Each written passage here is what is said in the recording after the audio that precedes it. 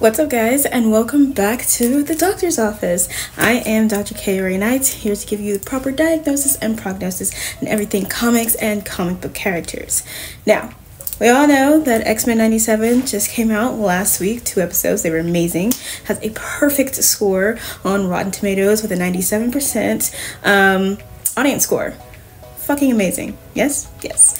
Uh, so, for the next several weeks, while X Men 97 is on, everything around here is going to be very mutant centric. Uh, so, please be prepared. Um, so, I'm going to be giving you guys all kinds of different mutants. I'm going to be giving you guys some uh, mutant storylines, not necessarily Krakoa, but some storylines, some really important storylines that have involved mutants uh, over the years some iconic storylines. Um, and just make sure that you're following Blurred because um, some articles are going to be there, some specifically written by myself. Uh, so anything that says Dr. K, the Anime Bay, is me. um, and then, of course, just read any of the articles on there because they're all amazing. And then make sure that you're also following Kaori's Corner, which is my movie review channel because I'm going to be removing, uh, reviewing the X Men movies, the uh, original TV show, um, anything with some mutants in it, and giving you guys my full review of X Men 97 when it's all said and done. So just make sure that you're keeping up with all of the things. Um, but you already know what this is, what this segment is right now, and it is comic book characters you may or may not know about. And today we are talking about one of Storm's children from a different Earth, and her name is Kymera. So Kymera is from Earth 13729 and she attended uh, the Dr. or the Jean Grey school, which was basically the Charles Xavier school just on this Earth. It's something else. Um, and she had battled with the Brotherhood of Evil Mutants as well as uh, Raze, um, who is also villainous mutant, um, on this Earth several times and despite her heroism, she never actually got along with her mother. Weird. Now, after helping the present X Men and the past X Men defeat the Brotherhood of her time, she decided to stay in the present just in case any future attacks or anything happened there. Uh, she would be there to assist. And when the future did attack the Jean Grey school, looking to kidnap uh, Shogo, or the child of Shogo. It's either Shogo or the child of Shogo. She reluctantly decided to assist based on how it played out in her timeline. And I'm sorry, it was the biological child of Shogo. However, truth be told, the reason she decided to stay in the past to begin with was because she was trying to uh, save her best friend, which was the Shogo from her time, from the grief that occurred with this particular event. And I do believe that in this event, in Kymera's timeline, uh, Shogo's biological child ended up dying. So when the events happened in the past, she did what she could to prevent that from happening. At the end of the day, she was still thinking about her best friend, so it led her to killing one of the future's henchmen.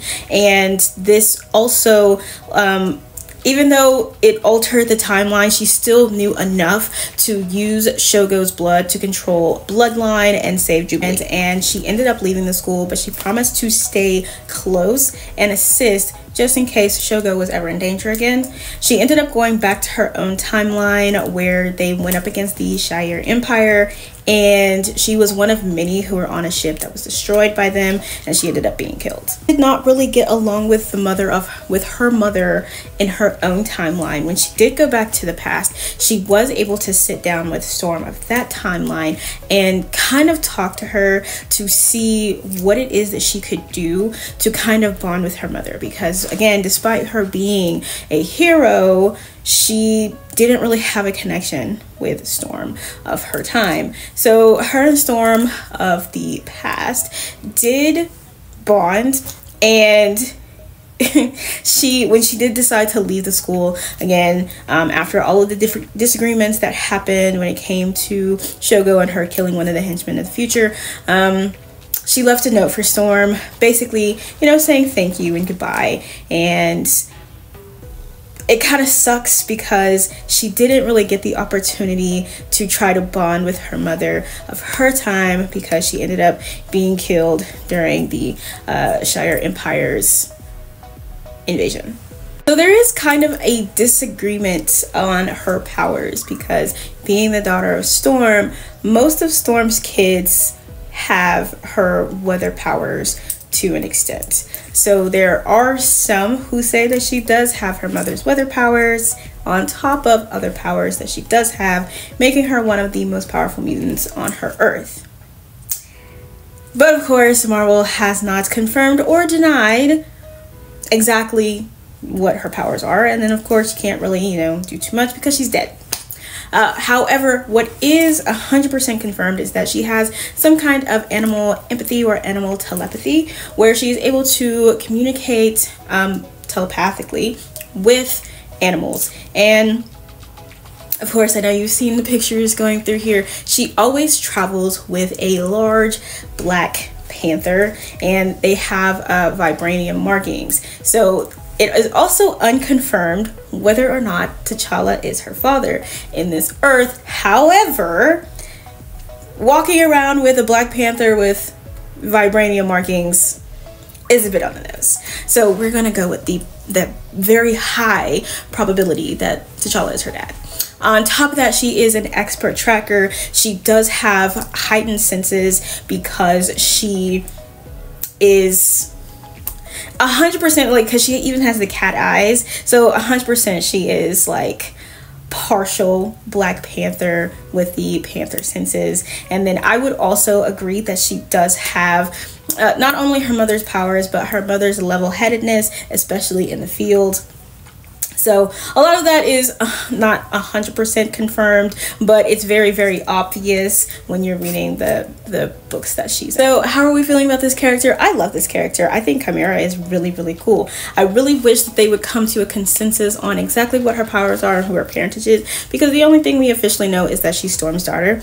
And being Storm's daughter basically automatically makes you incredibly powerful anyway, but it's also like she has a subset of powers and she has her main powers, but you don't know what her main powers are, you just know what her subset of powers are. So we don't really know if she's able to control, you know, do the weather controlling and everything like her mom I also don't like the fact that they didn't really give her a good relationship with Storm because Storm is very level headed. And when we look into any of her other children, she does have relationships with them. So for Kymera to not really have one with her, I think is really odd for her character, especially because she has traits of Storm, being level headed in the field, being the voice of reason. Like, you know what I'm saying? So it's kind of weird to me that they have that strained relationship and that she, the only piece of like healing she got from the strained, strained relationship with her mother is for like her to go to a different earth, different time and get that closure from a completely different storm. You know what I mean? So I don't know, and then to kill her before she had the opportunity to try to build that relationship with her actual mother from her time. I didn't like that either. So I really kind of do hope that they do a little bit more. Like, of course, they bring mutants back all the time. I feel like that would be very interesting if they wanted to put her in the main Earth or put her in like another alternate Earth where we can see her elsewhere. I think that that would be great. Um, but that is it for Miss Kymera. And again, make sure that you're following everything so that you are up to date with all of the mutant centric things and stop back into the doctor's office anytime.